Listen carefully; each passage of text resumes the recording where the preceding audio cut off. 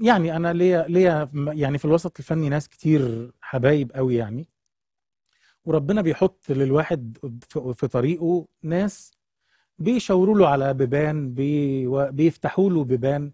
من الناس دي كان الله يرحمه الشاعر الكبير سيد حجاب اللي عرفني بالمايسترو شريف محي الدين اللي عن طريق ال- المعرفة دي غنيت في حفل افتتاح مكتبة اسكندرية.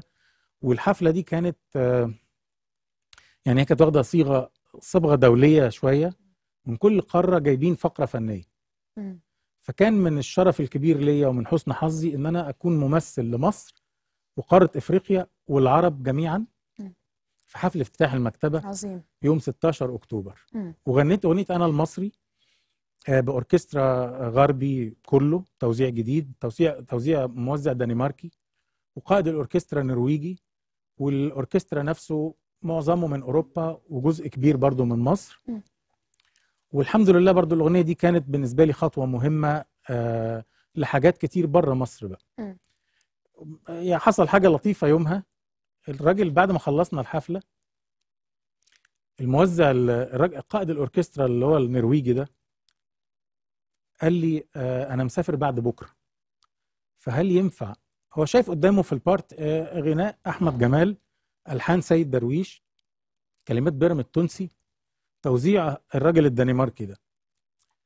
فقال لي أنا مسافر بعد بكرة وأستأذنك بس لو ينفع تاخدني أسلم على سيد درويش اللي ملحن ال وما أعرفش مين بقى سيد درويش وما أعرفش إنه مات.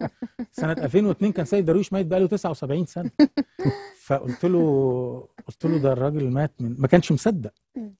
وال... والكلام ده خلاني فعلا أتأكد من عبقرية سيد درويش الفظيعة دي.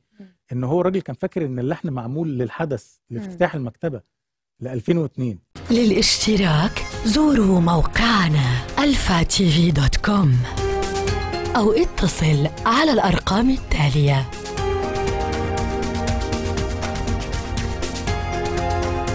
ألفا قنوات الأسرة العربية.